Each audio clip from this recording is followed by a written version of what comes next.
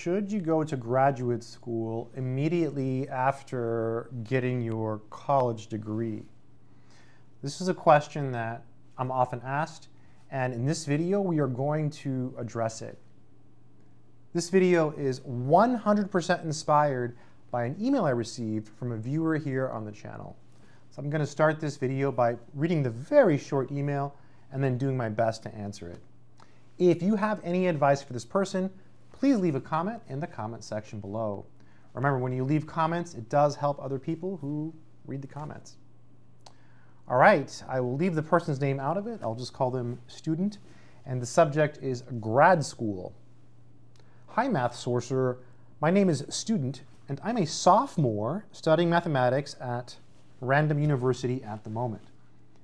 I've been greatly enjoying my studies, and I'm currently in Calc 3 and Theory of Probability and Statistics. My question for you is, would it be beneficial for me to immediately go to grad school as I've been told by a few professors that I would make an excellent grad student in mathematics? Or do I go out into the working world first and maybe go back later for my master's or PhD? Please let me know your thoughts on this. I'd greatly appreciate it. Yeah, sure. So first let me say thank you for your email. I really do appreciate it. And I do have some advice on this particular subject.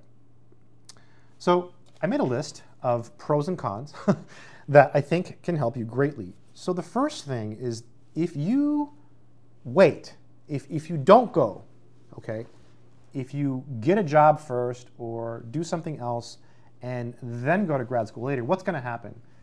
You're going to know less mathematics because you will forget, right? Math is very unforgiving. So if you don't do math for a while, you will forget. It'll be easy to refresh it, no problem, but you will forget. You will lose some momentum, right?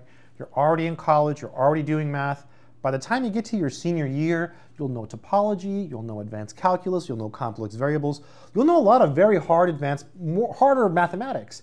And that's gonna be fresh in your mind. You're gonna have that momentum to keep going. If you stop doing math, you'll, you'll kind of lose that momentum. Also, if you go later, you'll have more real world experience. So that might create more motivation. Maybe you'll go out and you'll get a couple jobs and you'll realize that, hey, this sucks. I don't want to do this. I want to go back and do math. And so you'll be more motivated. So that, that could be a positive of waiting. My honest advice is to go now. That's, that's my advice for a couple reasons, right? One, as I mentioned already, it's fresh in your mind. You'll know the material. Two, you've got that momentum going. And three, it's always harder to go back later. Like if, if you don't go to grad school immediately after getting your bachelor's, right, then you're probably going to get a job.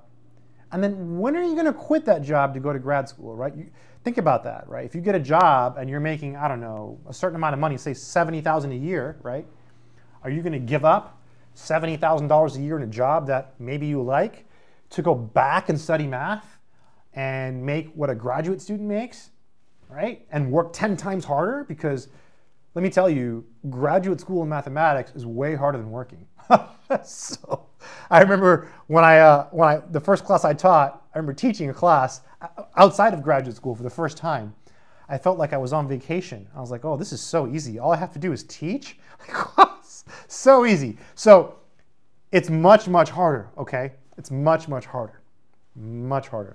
So my advice is stick with it, go for it, and pursue it all the way. That's what I think. Does anyone else have advice for this person? Do you disagree? Do you think it's better to take some time off? If you do, leave a comment in the comment section below. Oh, before I finish this video, as a concrete example, I have a, a friend who you know I talk to sometimes, and he got his degree in engineering, went to work for multiple companies, and then just got into grad school uh, this last fall into a really good school for his PhD in engineering. So he, he actually went back. He gave up a very high paying job to go back to graduate school. I mean, very, he was making a lot. And he just, like, enough is enough.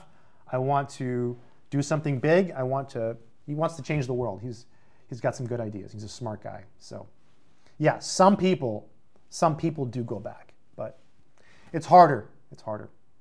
Anyways, leave any comments in the comment section below. Oh, and before I forget, if you want to learn math, check out my courses. The links are in the description. As always, keep doing mathematics.